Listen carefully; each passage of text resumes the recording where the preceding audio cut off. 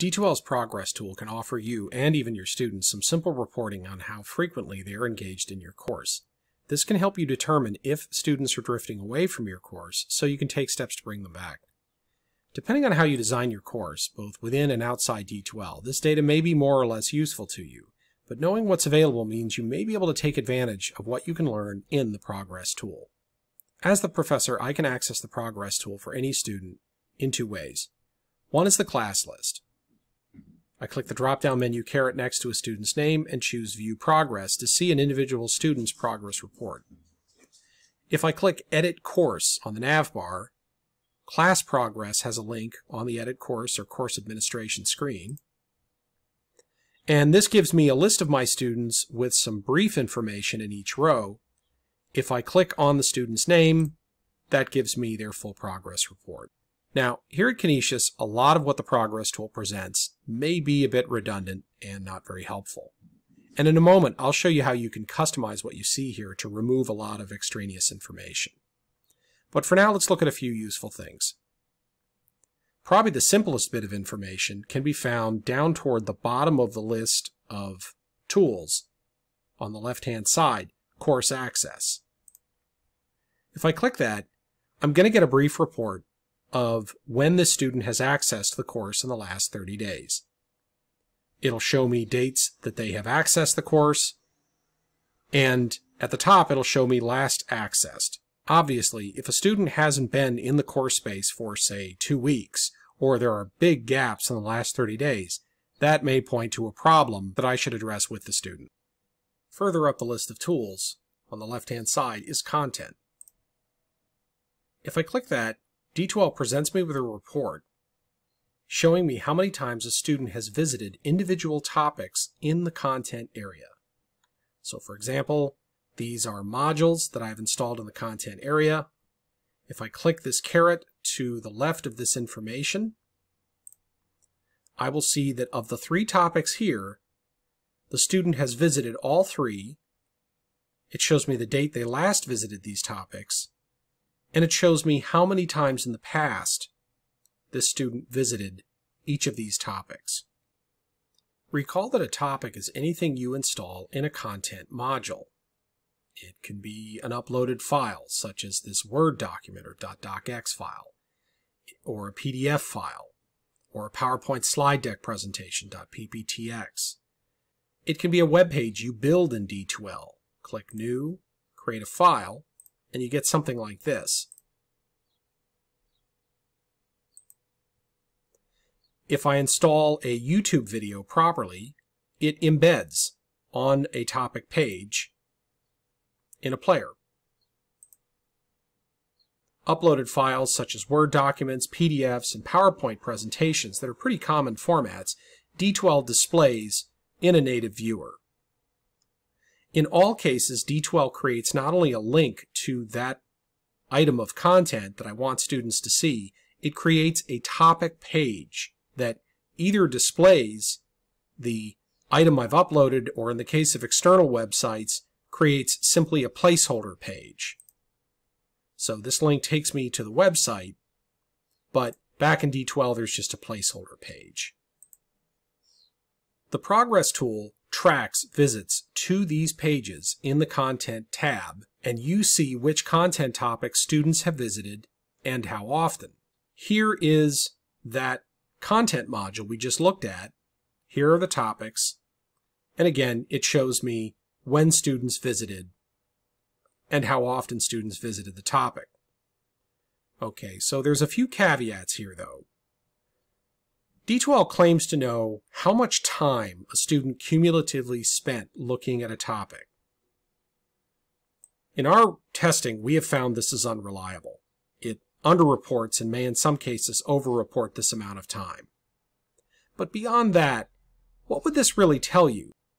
Let's say, for example, I assigned an article I want students to read, and I supplied the PDF copy of the article as a content topic in the content area. Some students are probably going to read it right off the screen using the D2L native viewer.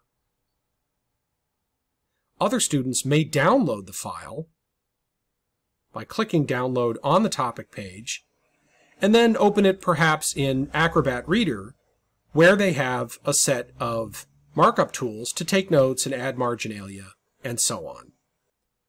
The latter students may only spend several seconds on this topic page.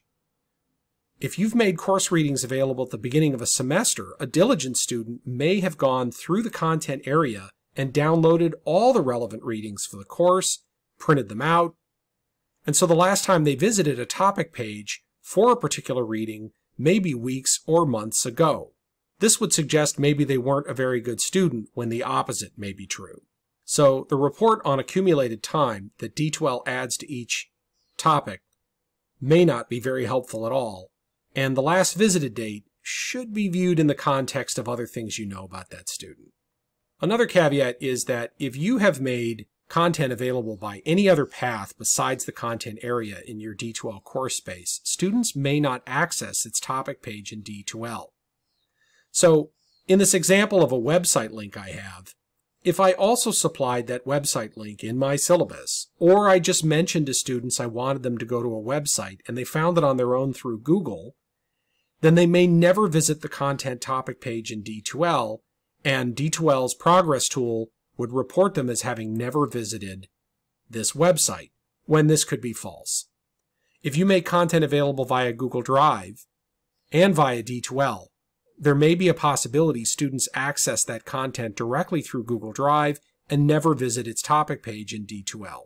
Another caveat is that while the progress tool shows modules, it does not show if the student has visited the module page, but not clicked on any particular topic.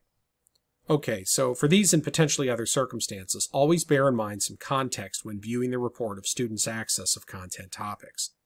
That said, you can still imagine how this might be useful. The simplest example is, I uploaded the syllabus to D2L, that's how students were supposed to get a hold of the syllabus. Did they ever visit the syllabus topic page?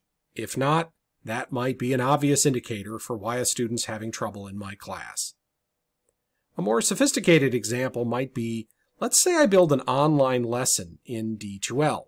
So I have here some web pages, each containing parts of content or parts of a procedure, and then I have a pacing quiz, and then students go on to further web pages, and perhaps the whole lesson concludes with a pacing quiz.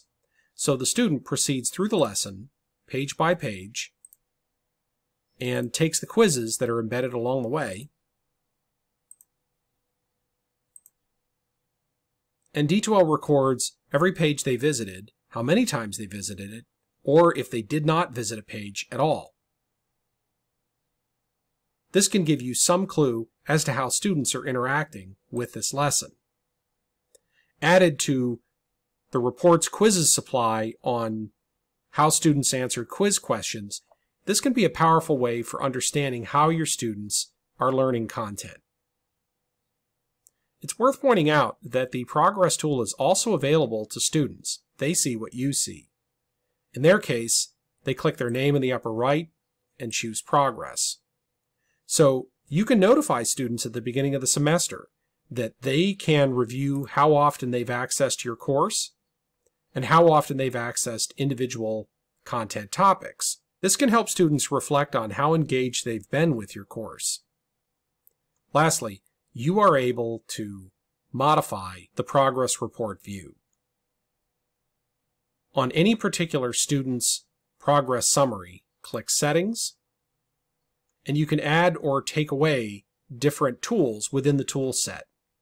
So for instance, let's say I don't use checklists, I don't use surveys, I'm not interested in a whole bunch of other things because I may get data from quizzes or Dropboxes or discussions by looking at the data sets they supply within those tools. And I'll just remove a few other things that I'm not interested in. And so I've now honed this progress report down to exactly what I'm interested in or what I want my students to be interested in and left out what's not useful for this class and my students will have access to this same simplified report.